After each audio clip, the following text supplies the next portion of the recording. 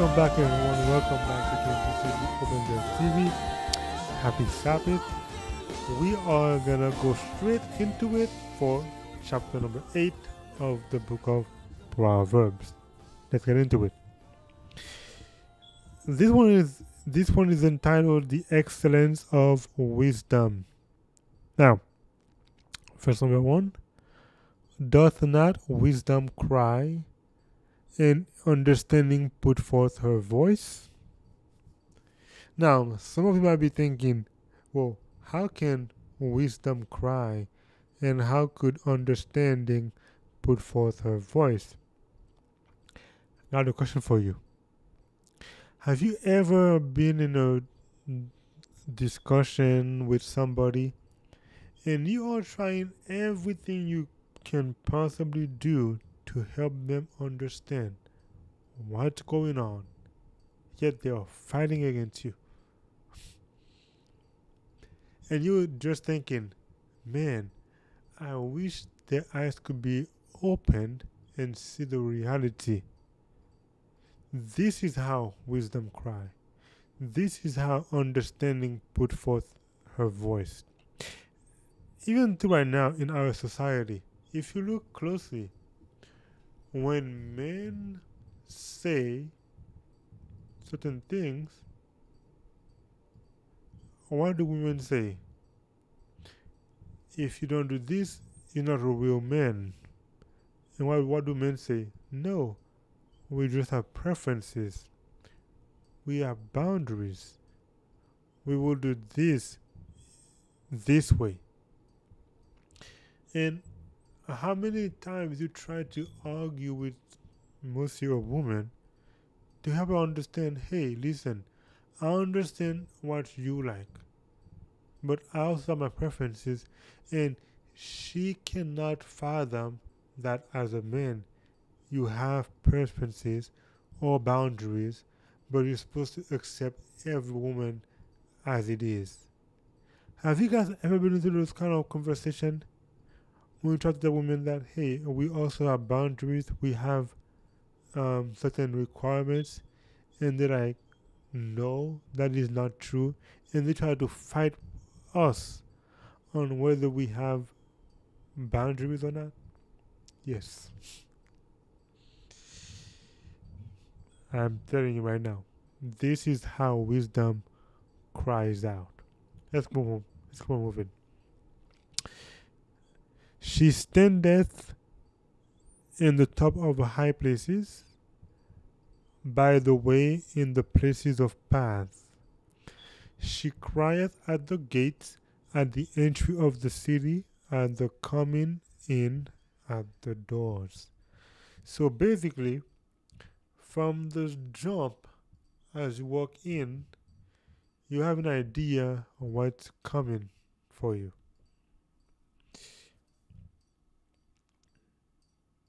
But then you get to that place where whenever you tell the truth or you, you explain to them what's actually happening, not what they all do or seen in their home, but what is going on across the a space, they are not able to conceive that because in their bubble life is always been done one way. And when he says when he, when he says she standeth in the high places, it doesn't only mean like on high, but it means in the place where a lot of people are in, in a crowded area so as many people can hear wisdom as possible. The gates. Gates are a great place to spread wisdom because most people they go through the gate. Um, basically, let me just check on. Yes, the entrance so anytime there's like a door open and someone is gonna most people are gonna go through, that is the best place to to be at so that wisdom can be shared. And that's exactly what God did with Israel. Israel. The way they were situated, they have the ocean on one side, they have Africa on the other side, they have up north where most of the trades, ha- if you wanted to trade, you would have to go through that little region. That was a perfect place for a wish for wisdom to be spread. Because everybody goes through that region for trading. It's like it was a gate. But of course, many people did not like wisdom. Let's see. Unto you, O men, I call, and my voice my voice is to the sons of men. O ye simple, meaning open minded, understand wisdom, and ye fools, be ye of an understanding heart. So God is calling out the fools those that all say that God does not exist, God is calling them out to understand His existence. Open your mind. But the question is, will they? I don't know. Hear, for I will speak of excellent things, and the openings of my lips shall be right things. And unfortunately, some people don't like the right things.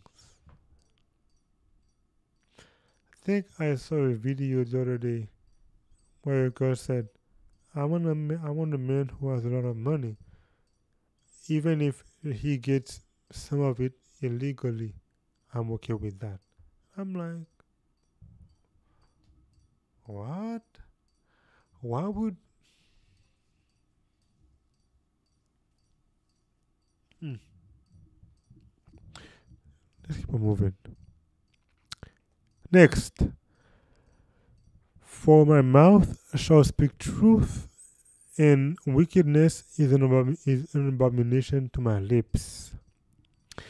You know, one of the abominations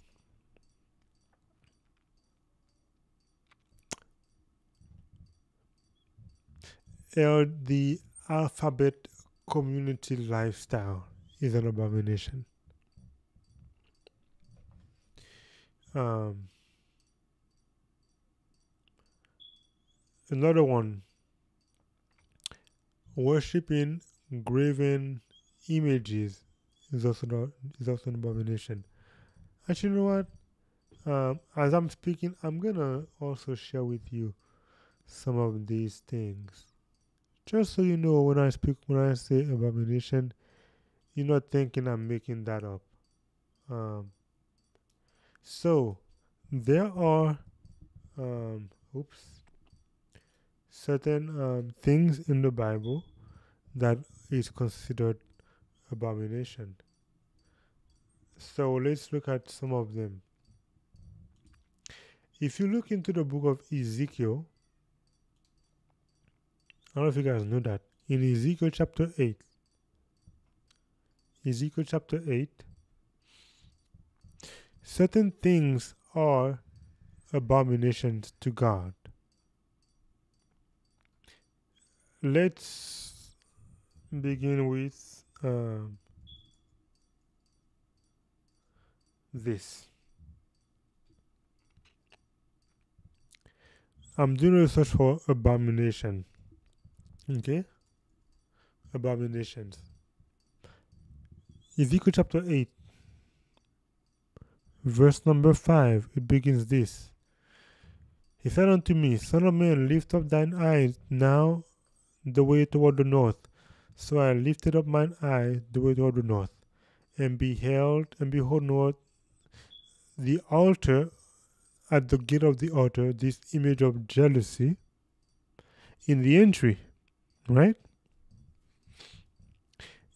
Even the great abomination that they commit, right?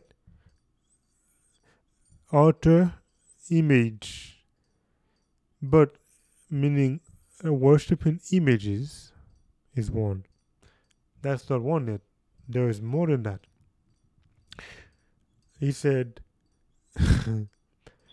look into the wall, like that hole that they made in the wall, and you see what they did. They also did some wicked abomination that they do. What did they do? They had what? Idols. Idol worship. It's abomination. More than just that. More than just that. You remember the weeping of Tamu, Tammuz? That's not an abomination. If you know what Tammuz is, you know what this is. This is going towards the alphabet community, the LGBT community. You know what the biggest one? Sunday worship. Yes, Sunday worship is the greatest abomination. Look, and he brought me into the to the inner court of the Lord's house, and behold, at the door of the temple of the Lord, between the porch and the altar, five and twenty men, to men, with their back toward the temple of the Lord, and their face toward the east, and they worshipped the sun toward the east. Sunday worship is the greatest abomination. You know why? Because once Sunday worship happens, the next thing that comes is judgment. Just saying right now. Ezekiel chapter 8 talk about the abomination, vision of idolatry in the temple, Sunday worship, greatest abomination. Next, judgment. I'm not gonna spend much time on that. Let's go back into this one. Verse number seven. So now some might be wondering, well, what happened with the um, LGBT part you were talking about? LGBT part. Um, when we mentioned Tammuz, that part was LGBT part, but in case you wanted to like have something that is more concrete, let's look at it this way instead. Um, let's go to Leviticus. Leviticus 18. Oh, by the way, did you know that Molech has something to do with LGBT community? Okay. So you go, you make your children pass through fire, through Molech.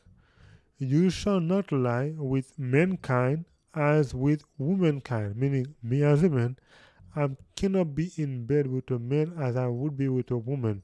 Why? It is abomination. There is more.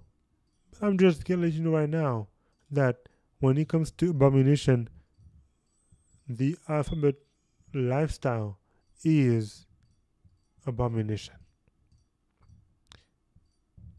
Last verse. In the words of my mouth are in righteousness, there is nothing forward or perverse in them. Why? Because God does not lie. God does not say things that are bad. He does not say things that are um, evil. He does exercise judgment in righteousness, just as anyone would. But even now, people do judgment unrighteously. So, wisdom, there is excellence in wisdom. But people that are fools are gonna do everything they can not to follow wisdom because most of the time wisdom is gonna do or say what is right and not what feels good. Again, it was the Open Veil TV.